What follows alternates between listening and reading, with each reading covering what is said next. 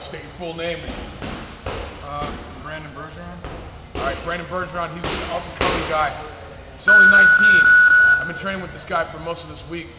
He's been tapping me out, getting that killer triangle, man. What's your so what, what's your favorite? Uh, are you are you mostly jujitsu or are you also into stand up or what? Um, I've been working on my striking and it's coming along, but my jiu-jitsu is way better than my striking. Yeah, you got excellent jujitsu, man. I think people got to watch out for you. And you've been fighting MMA too, right? Yes. Yeah. How, how many fights? Give me a record. I have uh, well, three amateur fights, three and I was an amateur, and then I'm five and two as a pro.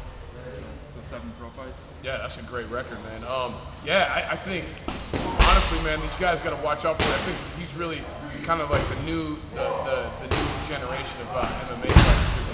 It's more MMA than he is just jiu-jitsu or striking or anything like that. Am I right? Am I getting there? That's kind of like your mentality.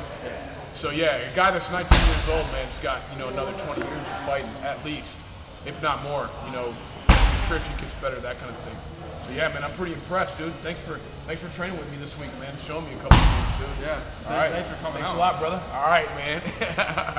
Brandon, Brandon Bergeron. Cool.